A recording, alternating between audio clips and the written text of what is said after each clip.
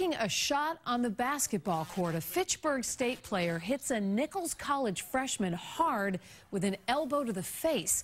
Tonight, that Fitchburg State player is off the team and banned from campus. Ken MacLeod's in Fitchburg, where the school is calling the player's actions appalling. Two Division III schools, not necessarily known for their basketball prowess, are getting national attention tonight for a now viral video clip from Tuesday's game. Fellow students at Fitchburg State were not very forgiving. Oh, it's absolutely terrible. Glad he's out. He's talking about the basketball game here last night when Fitchburg's Kewan Platt flattened Nate Tenaglia of Nichols with a seemingly unprovoked forearm to the face, just a second after the victim sank a late three-pointer in a Nichols win. Yeah, it's just one incident. I don't think it's really reflecting the school as a whole. Despite his glance to see if the nearby ref was looking, Platt was kicked out of the game.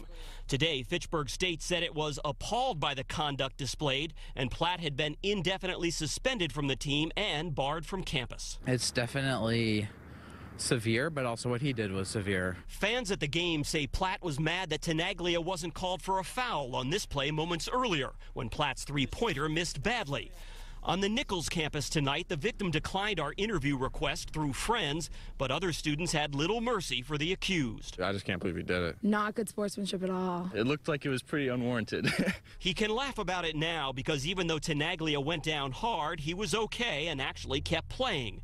But the video has blown up on social media, with some urging forgiveness for a heated moment of poor judgment and others demanding even tougher punishment. I mean, let me put it this way like, it's a game. We're told campus police are now looking into the incident, and the league has rescinded a Player of the Week award it just gave to Kewan Platt. In Fitchburg, Ken MacLeod, WBZ News.